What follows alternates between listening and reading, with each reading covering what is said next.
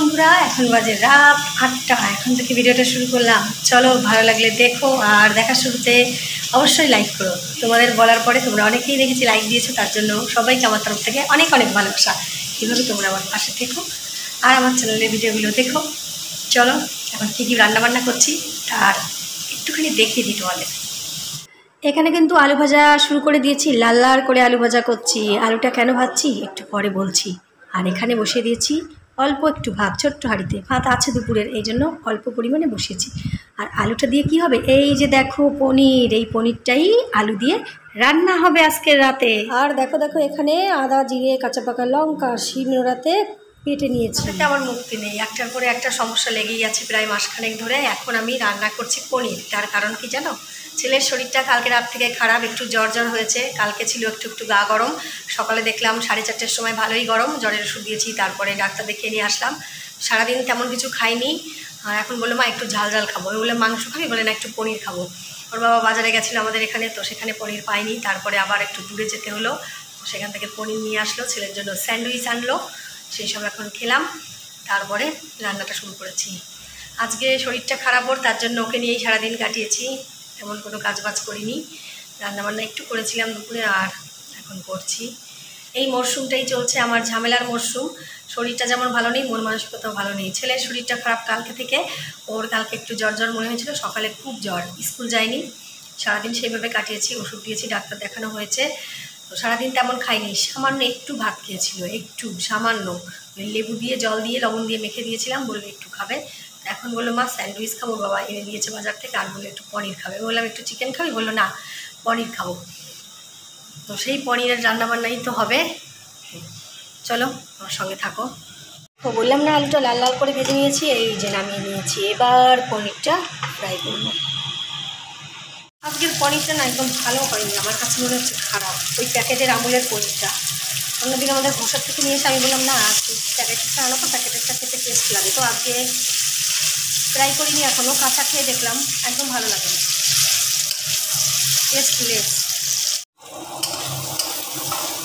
গরম থেকে মুক্তি পেতে এই যে টাওয়াল আমি মাঝে মাঝে মুছবো আর রান্না করব। দাঁড়ানো যায় না গরম। একটু বেশি ঝোলটা দেবো রাত্রে এটা দিয়েই শুধু খাওয়া হবে, এই জন্য একটু ঝোল বেশি দেবো। নর্মালি পনিরটা একটু মাখো মাখো আমার কাছে বেশি ভালো লাগে। যেহেতু একটা আইটেম সেই জন্য একটু ঝোল হবে আমার চিমনিটাই কিন্তু বেশ কাজ দিচ্ছে। একদম যখনই কড়াইতে তেল দিয়ে কিছু ফ্রাই করা হচ্ছে শ্যাঁ করে টেনে নিচ্ছে। আগে ভাবতাম হয়তো কাজ হয় না, সত্যি খুব কাজে। এখন ইউজ করে বুঝতে পারছি। টুকটুক করে সবটাই ফ্রাই হয়ে গেছে। দেখবে? অনেকটাই কিন্তু দেখে বোঝা যাচ্ছে না, দুশো গ্রাম আছে এখানে।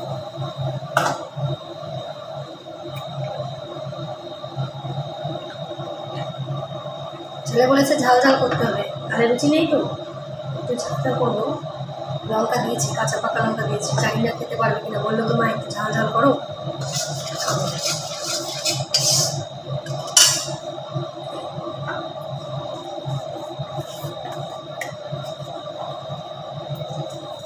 ফোড়নের জন্য দিয়ে দিলাম জিরে তেলের ভিতরে। হুম?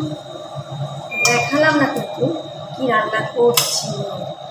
ফোড়নের জন্য জিরে দিয়ে দিলাম। এবার গ্যাসটা দিলাম জোরে। ভালো করে নাড়িয়ে চাড়িয়ে জিরেটা তেলের ভিতরে সুন্দর করে ব্রাউন ব্রাউন করে ডার্ক করে তারপরে এই যে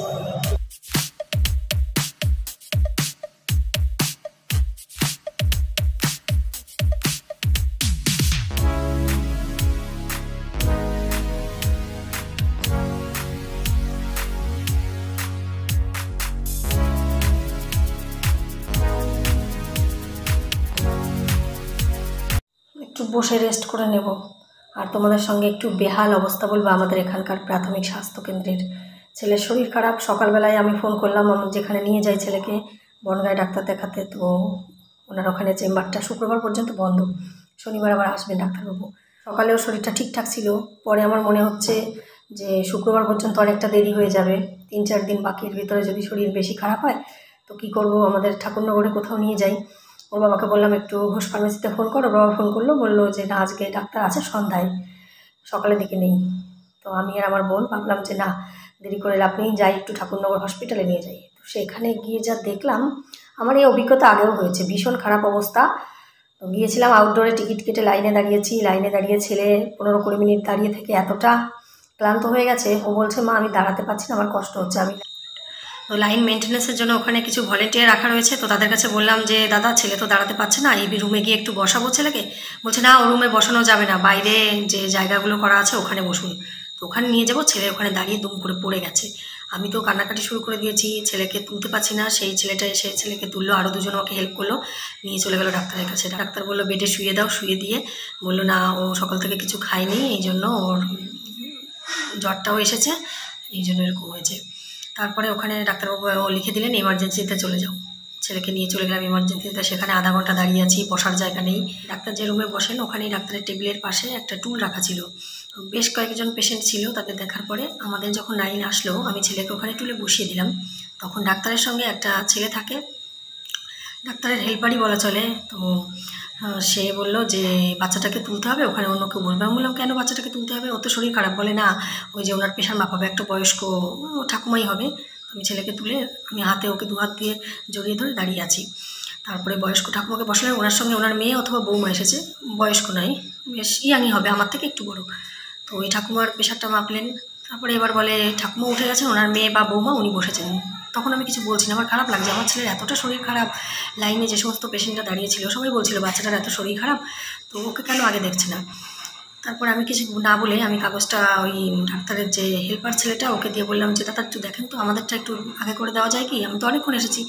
তো দেখে বলে, আপনার একটু ওয়েট করতে হবে। আমি কেন? বলে, ওর জ্বর কতটা কি আছে আরেকবার মাপতে হবে। আমি তারপরে ওখান দিয়ে সিস্টারদের কাছে গেলাম, গিয়ে ওর জ্বরটা মাপলাম। ওনারাই থার্মোমিটার আমার হাতে দিয়েছিলেন, আমি মেপে দেখলাম হান্ড্রেড টু তো ওটা পারদ থার্মোমিটার ছিল না, ছিল ওই ডিজিটাল থার্মোমিটার। তো ডিজিটাল থার্মোমিটারটা আমার খুব একটা পছন্দ না, ওটা আমি বাড়িতেও ইউজ করে দেখেছি। ওটা দিয়ে ঠিক মতো টেম্পারেচার আসে না, অনেক সময় কম দেখায়, অনেক সময় বেশি দেখায়। কিন্তু আমার ছেলের গায়ে যে টেম্পারেচার ছিল, তাতে করে হান্ড্রেড টু হবে না, ওই হান্ড্রেডের মধ্যেই হবে। আমি এত বছর ধরে জ্বর মাপতে মাপতে অভ্যস্ত, তো সেটুকু আইডিয়া আমার ছিল। তারপরে মেপে নিয়ে আবার গিয়েছি, তো তখন থেকে ওখানে ডাক্তার নেই। আমি বললাম, ডাক্তারবাবু কোথায় বলে? ডাক্তারবাবু চেক আপে গেছে। ভিতরে যে পেশেন্টগুলো অ্যাডমিট রয়েছে, সেখানে চেক আপে গেছে। তখনটা দাঁড়িয়ে রয়েছি, ওই ছেলে নিয়ে, ছেলের জ্বর বাড়ছে। তো বোনকে বললাম, যা দোকান থেকে একটা ওষুধ নিয়ে ও দুটো প্যারাসিটামল কিনে নিয়ে আসলো আর একটা গ্যাসের ওষুধ। সেখান দিয়ে ভেঙে ভেঙে হাফ করে ছেলেকে খাইয়ে দিলাম। তারপরে আবার আউটডোরে গিয়েছিলাম। যেখান থেকে ডাক্তারবাবু আমাদের এখানে রেফার করল এমার্জেন্সিতে তো সেখানে গিয়ে বললাম, ডাক্তারবাবু, এরকম পরিস্থিতি হলে কেমন হয়? আমাদের এমার্জেন্সিতে আপনি পাঠালেন দরকার তাড়াতাড়ি করে। তো সেখানে গিয়ে দেখলাম, কোনো রকম ভুক্কপি নেই তাদের। এত সময় ধরে আমাদের ওয়েট করিয়ে রাখছে, আমার ছেলেকে একটু উপস্থিত দিচ্ছে না। তো বলে, না না এমার্জেন্সিতে এরকম করবে না, আমিও তো এমার্জেন্সিতে পেশেন্ট দেখি। ওনারা কখনোই ওনাদের দোষটা দেখবেন না, আমি সেটা জানি। তারপর আমি বললাম, ডাক্তারবাবু, যদি আপনার কিছু করার থাকে, আপনি কিছু ওষুধপত্র দিতে পারবেন, তাহলে দেন, তাহলে খুব ভালো হয়। আমার ছেলেকে আমি বাইরের দোকান থেকে ওষুধ কিনে খাইয়েছি। তো উনি লিখে দিয়ে বলেন, আবার সেই ইমার্জেন্সিতে যেতে।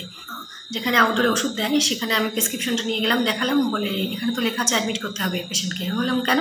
বলে লেখা আছে এখানে অ্যাডমিট করতে হবে, আপনি ইমার্জেন্সিতে নিয়ে যান, ওখানে আপনার ছেলেকে অ্যাডমিট করে নেবেন। বলছি, না, তেমন কোনো সমস্যাও নেই, ও না খেয়ে রয়েছে উইকনেস তার জন্য ওনারা শুধুমাত্র দায় এড়ানোর জন্য কোনো রুগীকে ওরা ভালো করে ট্রিটমেন্ট করবে না। ওই নিয়ে নিয়ে কোনো মতো ভর্তি করে দেবে। এই হচ্ছে আমাদের ঠাকুরনগরের অবস্থা। এটা একবার নয়, আমি অনেকবার দেখেছি আমাদের ঠাকুরনগর হসপিটালে তবে এই করোনার আগে কিন্তু কোনোদিন এরকম ছিল না, আগেও তো কি আছি? তো ভালো ট্রিটমেন্ট করতো, ডাক্তারদের ব্যবহারও ভালো ছিল। এখন দিনে দিনে না ভীষণ ফাঁকিবাজি হয়ে গেছে, আমি দেখলাম।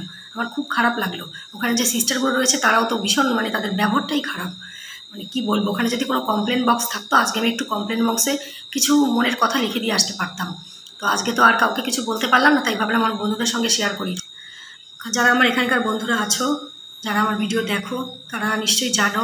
আর যারা জানো না, তারা আমার ভিডিওর মাধ্যমে জানো আমাদের ঠাকুরনগর ঠাকুরনগর নয়, ওটা চাঁদপাড়া প্রাথমিক স্বাস্থ্যকেন্দ্র নামটা। আমাদের ঠাকুরনগরে অবস্থিত, কিন্তু নামটা চাঁদপাড়া দেওয়া। তো অবস্থা খুব খারাপ। হসপিটালে ট্রিটমেন্ট তেমন হয় না। খুবই খারাপ। ডাক্তাররা তো ভীষণই খারাপ। মানে একদম কেয়ারই করে না। একদম কেয়ার করে না। বসে বসে ওনারা গল্পই করছেন। তিনজন বসেছিলেন টেবিলে। তিনজন মিলে খোশ গল্পে মতো নিজেদের মতো কি কাগজে লেখালেখি করছেন? কিন্তু কোনো রকম ভ্রুক্ষেপই নেই যে এখানে পেশেন্টগুলো দাঁড়িয়ে আছে, কষ্ট পাচ্ছে? এই সমস্ত মনের কষ্টের কথা কাকে বার বলব? তো তোমরাই আছো আমার কাছে বলার মতো। তো তোমাদের কাছে শেয়ার করলাম। তোমাদের যাদের বাড়ি আমাদের এখানে, তারা তো নিশ্চয়ই জানো। আর যদি তোমরা কেউ এই হসপিটালের সঙ্গে যুক্ত থাকো, তো তাদের কাছেও আমার এই আবেদন। তোমরা এই ব্যাপারগুলো একটু দেখো। এরকম করো না পেশেন্টদের সঙ্গে। ছোট বাচ্চাকে নিয়ে গেছি আর অসুস্থ পেশেন্টও তো থাকতে পারতো।